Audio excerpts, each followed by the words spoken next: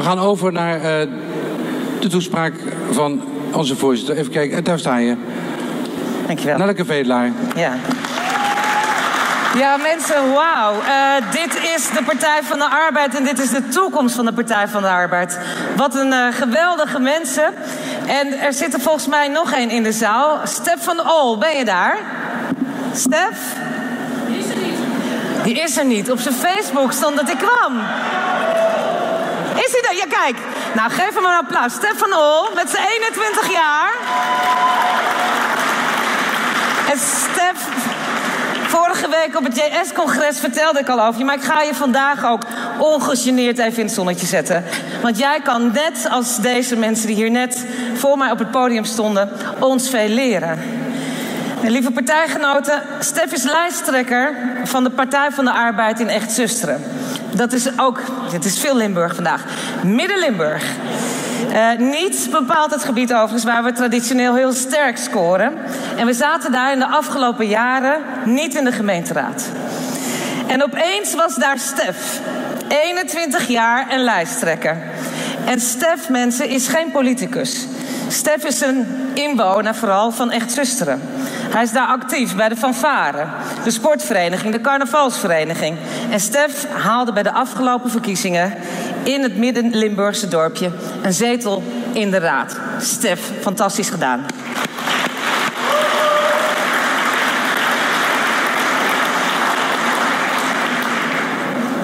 En 2017, partijgenoten, was geen gemakkelijk jaar voor onze club. Maar toen het stof ging liggen, kwam er iets moois tevoorschijn. Iets wat we voorheen wellicht niet altijd meer zo scherp hadden. Want door het hele land heen gingen Stef van Ols actief in de samenleving, actief voor vereniging. Zij stonden op en zij kwamen in actie.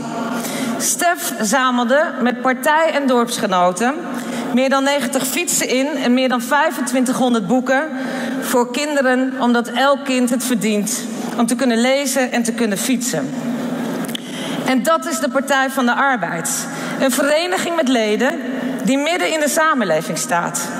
Leden die, als ze merken dat kinderen geen geld hebben voor een trompet, ervoor zorgen dat een potje wordt geregeld uh, of een potje wordt leeggehaald, zodat kinderen, zodat elk kind muziekles kan krijgen. Of leden die ervoor zorgen dat betaalbare huizen worden geregeld en gebouwd binnen en buiten gemeenteraads, uh, gemeentehuizen. En dit congres heeft net een nieuw deel van het partijbestuur gekozen. En de opdracht van ons nieuwe partijbestuur is er dan ook om ervoor te gaan zorgen dat al onze leden, vandaag hier aanwezig en al die anderen in het land, de ruimte krijgen om de Partij van de Arbeid te vertegenwoordigen. Want politiek begint bij het verbeteren van, van de levens van je buurman, van je klasgenoot, van je nichtje. Mensen staan centraal. En onze vereniging is er niet om zaken op te leggen, maar om te inspireren. Om mee te doen. Als bondsgenoot. En dat betekent dat onze ambities niet liggen in lange vergaderingen en hijsessies, maar in acties. Grootste daden beginnen bij kleine acties. En inspiratie begint niet in een dikke, dikke motie, maar in een goed idee. Prachtige voorbeelden. En vooral bij enthousiasme en plezier. Klinkt mooi, vind ik. Maar hoe dan? En ik geef jullie maar één zin mee. En ik weet dat het niet hoeft, omdat hij in ons allen zit. Jij, ik, wij, wij allemaal worden gebonden aan die ene regel die harder is dan welke verkiezingsuitslag dan ook. Als wij sociaaldemocraten onrechtvaardigheid zien, dan bestrijden we die met alles wat we in ons hebben. Sandra van de Ven, inwoner van Schin zag een dorpsschool van haar kinderen dichtgaan. Kon niet langer open blijven. En Sandra zei: Hoezo niet? Lieke Kuiper, Lieke, waar ben je? Ja, en Lieke is echt mijn allergrootste held, weet je dat? Lieke Kuiper zag een ZZP'er, of een eigenlijk een in die ZZP-constructie weggestopt worden. Want goedkoper. En tja, zo werkt dat nou eenmaal. En Lieke zei: hoezo werkt dat nou eenmaal zo?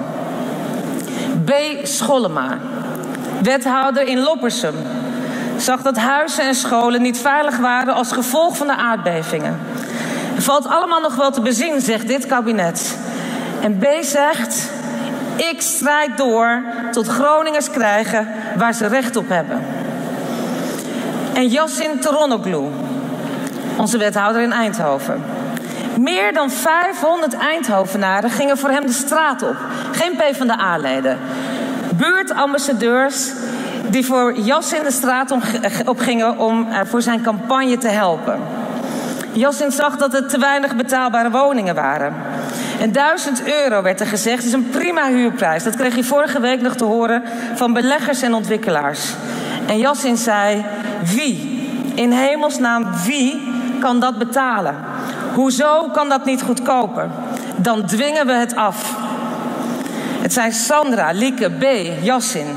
Zij zagen onrecht en mensen die niet meer zeker waren van hun bestaan. En ze gingen aan de slag, onvermoeibaar. En ze zijn nog niet klaar. Succes vereist doorzettingsvermogen. Maar dat het kan, dat zagen we aan Jongen United. Einde minimum jeugdloon. Dat het kan, zien we in Schil op Gul. De school gaat weer open. En dat het moet, horen we vandaag van de strijders van PO in actie en de strijders van Ik sta op.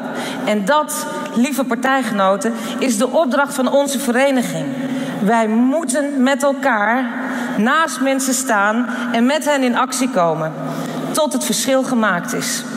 Samen met de Riders Union, de FNV, inwoners van dorpen en steden en samen met onze linkse vrienden. En die successen die zullen we delen. Om inspiratie door te geven aan jonge mensen die onrecht zien en denken: hoezo? Want onzekerheid over je baan, je huis, de zorg. Allemaal hele gewone dingen waar we ons soms zorgen over maken.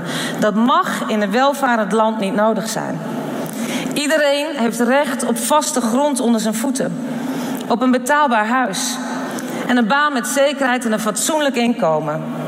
En op zorg en onderwijs op het hoogste niveau. Het is de enige manier om vooruitgang voor iedereen mogelijk te maken. Dat is onze verantwoordelijkheid.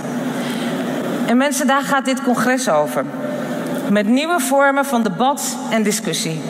Alles erop gericht om van elkaar en van anderen te leren, inspiratie op te doen, in actie te komen en vooral plezier te hebben. Voor een herkenbare, linkse, progressieve actiebeweging met een vernieuwde koers. En vandaag op het congres, en ook na vandaag, in landelijke bijeenkomsten, in regionale actiecentra, maken wij samen die nieuwe koers. Het gewest Brabant bedacht op het voorcongres geen moties, maar wat zij wilden delen vandaag met, elkaar, met ons. En ga naar die deelsessie en deel met elkaar hoe je maatschappelijke actie organiseert. Maak met Gijs een actieplan om fatsoenlijk werk en loon en een veilige werkplek voor iedereen te garanderen. Sta op voor de bouw van betaalbare woningen en laat je inspireren door lokale helden die laten zien hoe dat kan. En ga in gesprek over onze inzet voor, uh, voor een solidair, sociaal en duurzaam Europa. Lieve mensen, onze mooie partij, die is van ons allemaal. Help elkaar, steun elkaar, draag elkaar op handen. Ik ben ongelooflijk trots op jullie en ik daag jullie uit. Kom van je stoel, denk mee, doe mee en kom in actie. Dank jullie wel.